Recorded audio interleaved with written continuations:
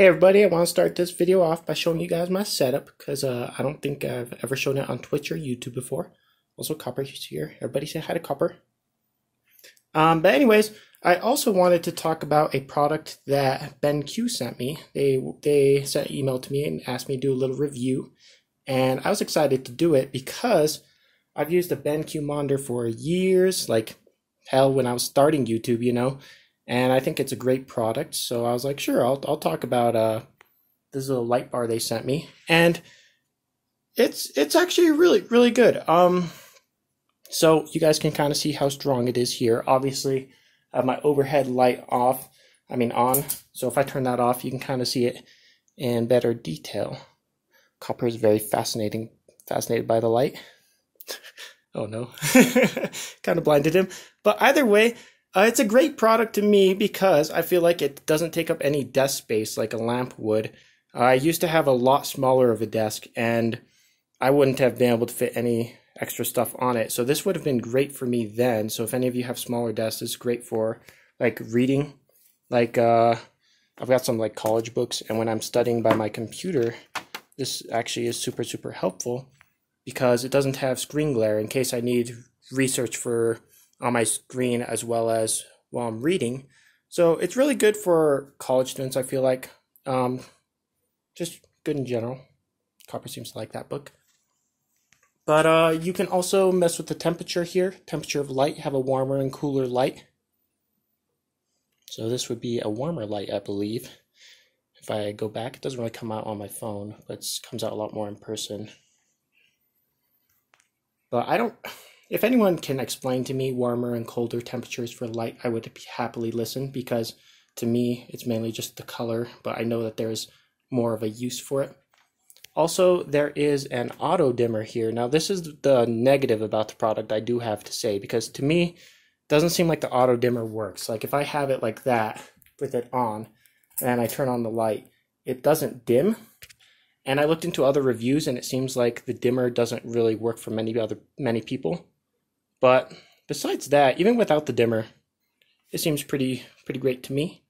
Anyways, uh, you guys, if you want to check it out, it will be in the description. Let's continue on with the Fafnir video. Hello everyone on YouTube.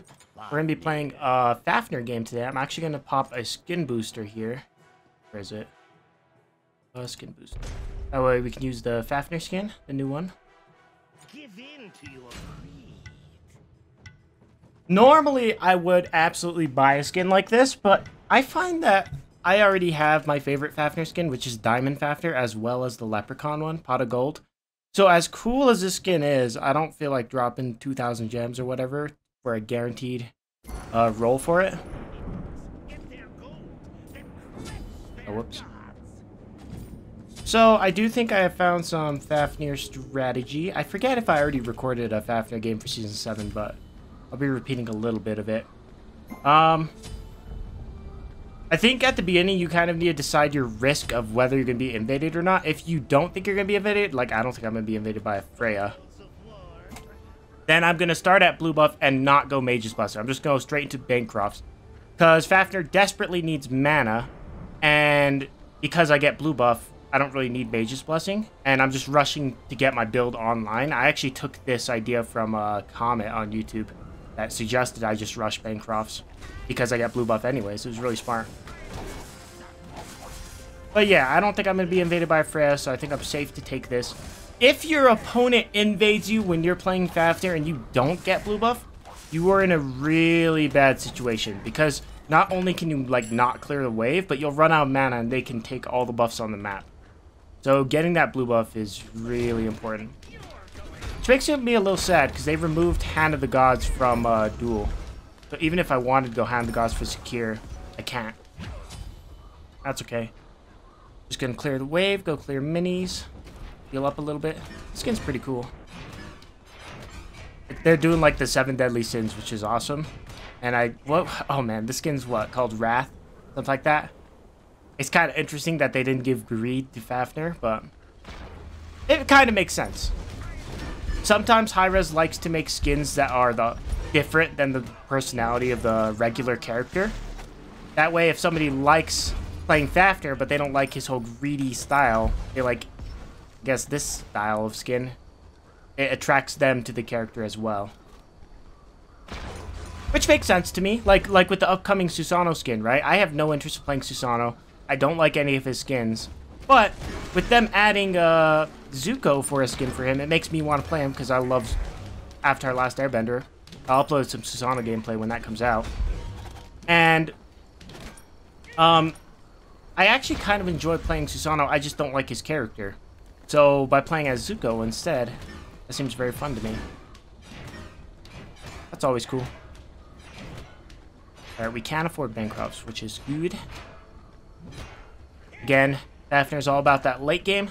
Can't do too much in the early. You do have kill potential with the ult, but it's mainly saved for uh, when you have a guaranteed kill or to get out. Like, I could ult when she's ulting, and then she wouldn't be able to fire all four shots. Really good to use as, like, an Aegis.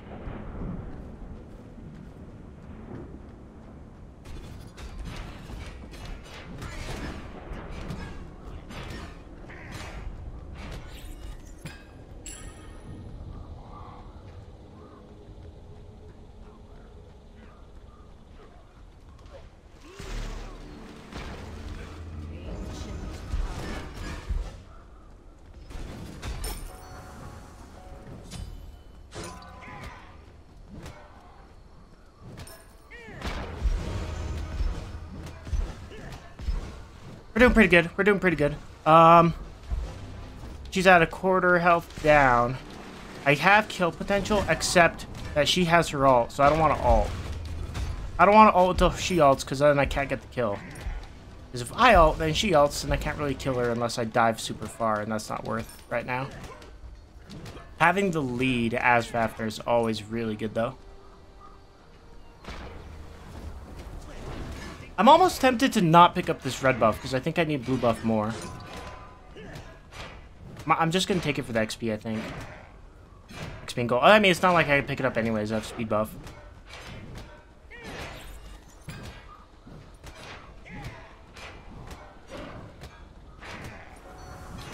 Yeah, because our mana sustain is horrible right now.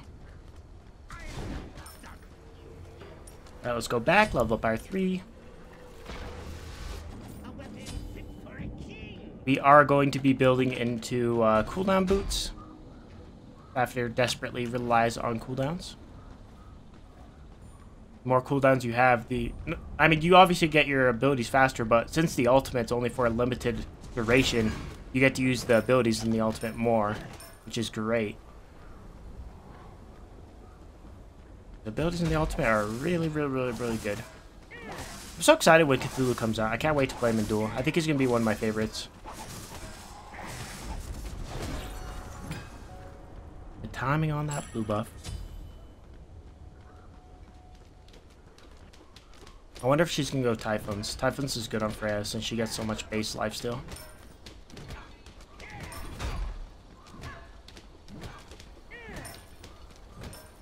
I almost have uh, three stars on Fafnir too. I was looking at it in the pick screen. Right now I have over 3,000 worshippers on Fafnir, but I almost have 4,000, which is really cool. My goal is to get Fafnir to pass my Hou Yi, because I used to be a stinky Hou Yi main back in Season 2, and I played Hou Yi, like, non-stop. They got 5,000 worshippers on Hou Yi. So, passing Hou Yi with Fafnir would be great.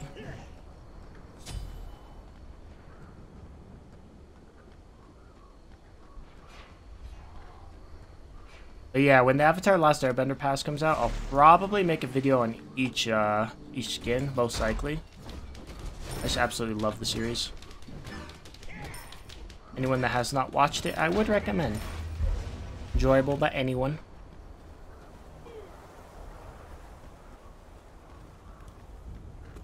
Now she's probably going to go Lifesteal Boots if she's going to go into Typhons. Because then that'll give her so much power. I'm surprised they haven't nerfed Typhons yet, but hey, guess it's fine. I'm actually going to take quite a bit of damage here if I don't shoot. Never mind.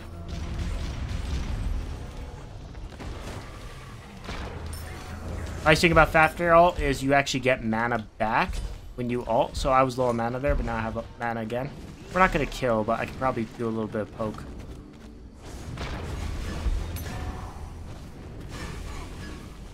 Eight seconds.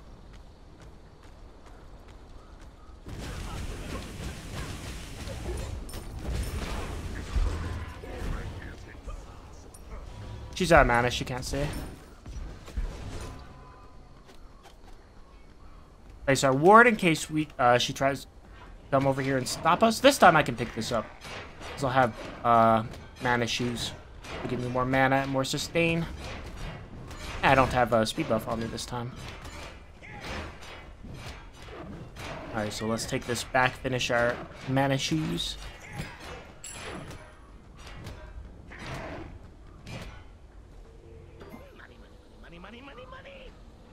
Forgot that I should be using the voice pack. That's a funny... That's a funny woohoo. That's great.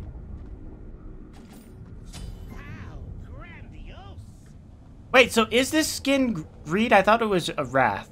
Maybe it is greed. I'd have to read the title again. Maybe I just wasn't paying attention. Because why would I have that voice line if it wasn't Wrath, right? Obviously, when I upload this video, I'll know, but...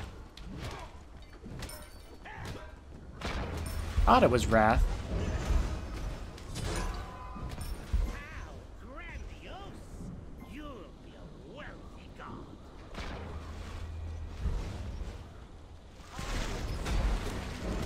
It'll be a wealthy god. I'm pretty sure it's greed. Pretty sure it is greed after all. I could have sworn it was Wrath when they first came out with it. Okay, we should be able to kill her here. As long as I don't miss. Okay, I definitely hit her when she was coming down the ground with my three, but it doesn't matter. I hit her with my one. Good stuff. use my abilities, then untransform. It's usually a good idea to untransform right after getting a kill, because your uh, ultimate doesn't come off cooldown until you actually untransform. So if you stay in the dragon, you're actually holding off your next ultimate, essentially. In other game modes, not so much, because there's always something you can do. Whether it be your teammates take objectives and stuff. Oops. Ooh, she might take my uh, tower if I'm not careful here. She is skipping defense, which is pretty good for me. Ow. Well, I should have waited for my two, because now the archers are not dead.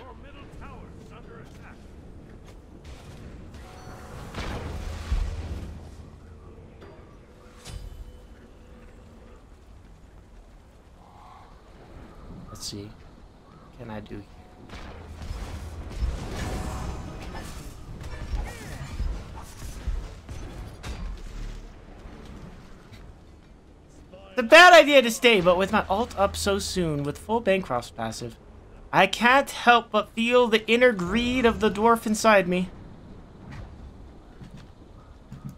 And I have beads up. I feel like this is a decent opportunity.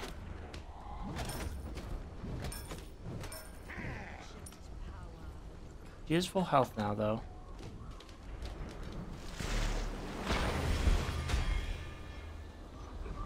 Let's see. She has no mana. The inner greed inside me was right. Ah, I love being a greedy player. I love it, love it, love it.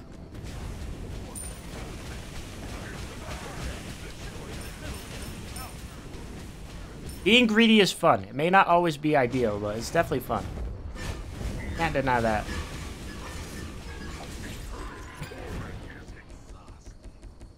Alright, now we're getting back.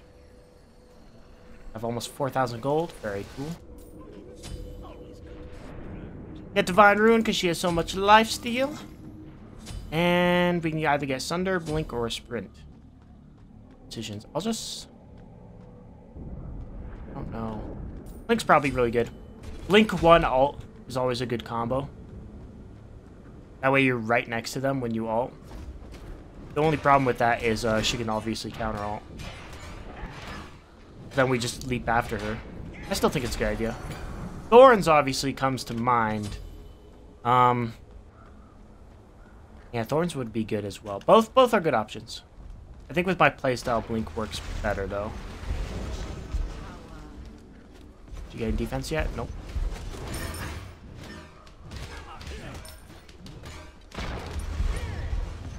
Do not have uh, our ultimate yet, so we cannot fight. Kill potentials in our ult. Very rarely will Fafnir get kills without his ult.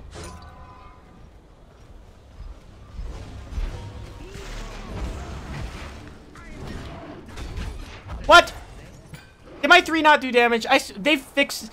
In patch notes, they've said like four times that they fix, oh, Fafnir's 3 doesn't do damage at close range. I swear that didn't do damage. Maybe it did. Did it? If I press T? I don't know.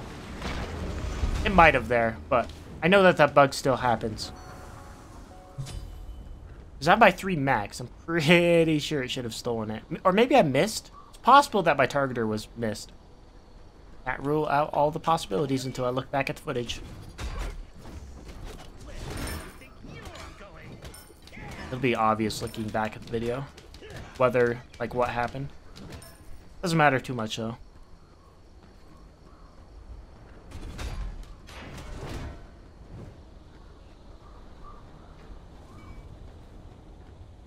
Now she's getting defense. Most likely a Shogun's. Ooh, is she gonna go for Demon King or is she just warding it? I think she's just warding it. Yeah, she just put a ward on it, which means I can get a sentry. I was looking at how many wards she had at her hand, so because I saw she had two here and only one when she came back, it's super obvious that she uh, put one there. What do I want next? Chronos Pendant?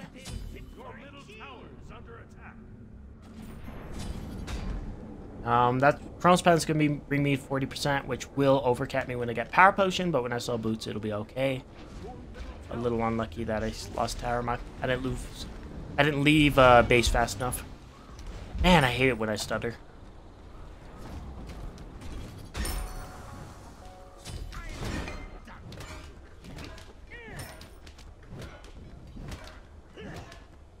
Also, I'm hoping the mic quality is slightly better. I got a program Voicemeeter, which allowed me to change a lot of my audio settings, and hopefully it sounds better. I'm not entirely sure. Oh.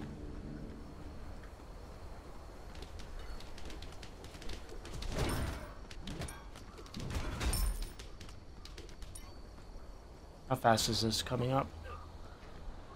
Not for a little bit.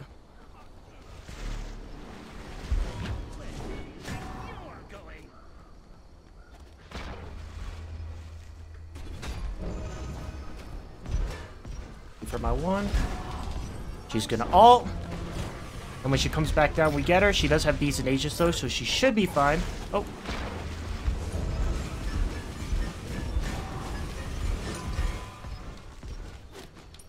Little unfortunate. Wait, hold on. A little unfortunate for me or for you? Come on. I missed. Run. Run, Fafnir. Oh, she's healing. Oh, God.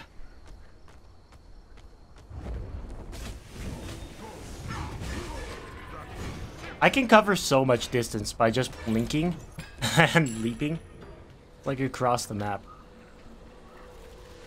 Not quite as far as I wanted though. Alright, so I'm tempted to get a Pestilence, but that might be too much defense. Um, just because more anti-heal. Toxic Blade doesn't work in Fafnir Dragon form. What else would be a good idea? Also, she got a sentry, so she's going to counter ward me.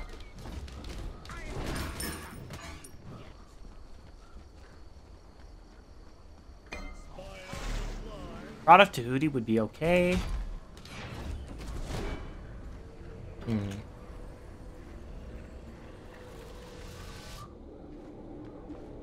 This. Soul Reaver. Let's go with the rod. Rod's pretty good. Gives tons of damage for Fafnir.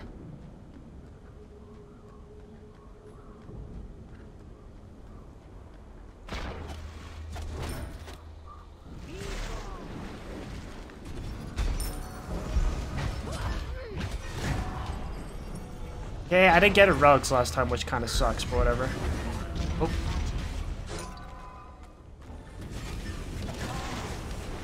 That damage.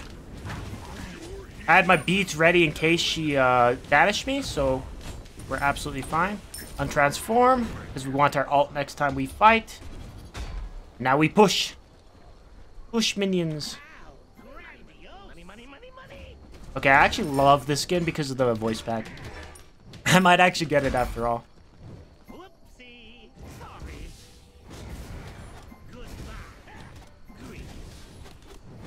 Yeah, I actually love the voice pack for this. And actually, the more I use this, the more I'm playing this game, the more I'm actually liking the effects as well. Especially the ultimate. The way the wings glow and everything is really cool. I might get it after all. I'll have to think about it. For now, I'm perfectly happy with using my Fafnir Diamond, though.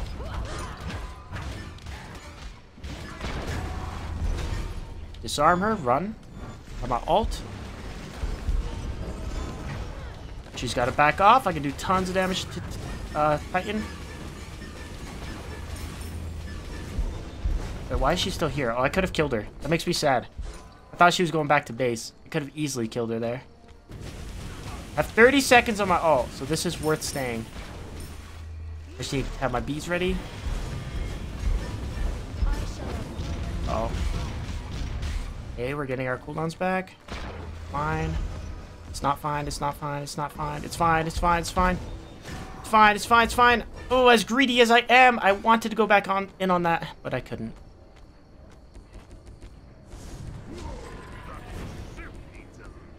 He's gonna get red buff, I think.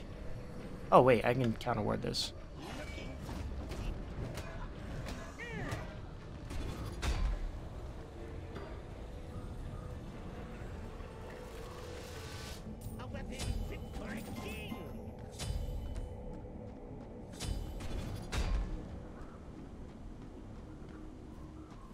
Also, one of my favorite fun facts about Fafnir is his little golden pouch on his back.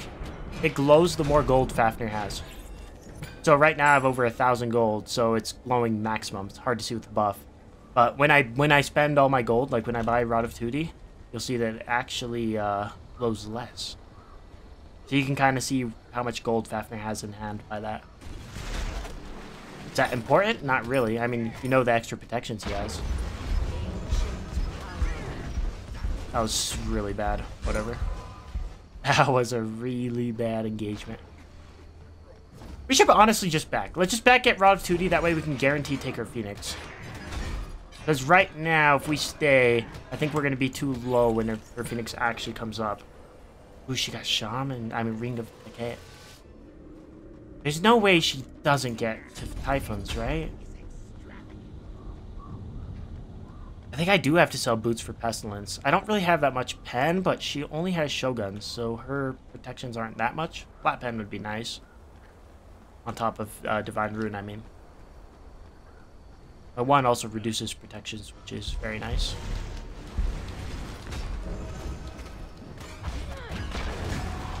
Ult.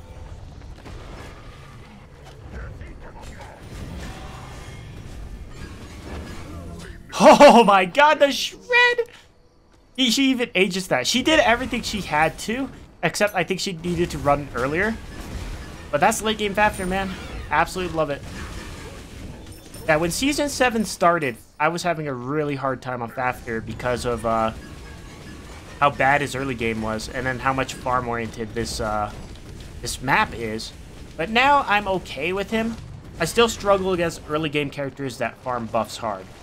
Freya doesn't do that as much, so I was able to come online. But maybe I'll try to record another Fafnir game sometime, showing how he does against those types of gods, because I definitely struggle way more against... I mean, Bakasur I started banning. I used to never ban Bakasur, but with the Golden Blade buff, I, I've been banning him. Um, Set, maybe? Would Set be a good example? I don't know. But just, just early game gods that, that farm a lot. Either way, I appreciate you guys watching. We're still in Diamond 5. Here are the stats if you would like to see them, as well as the builds. And I'll see you guys later.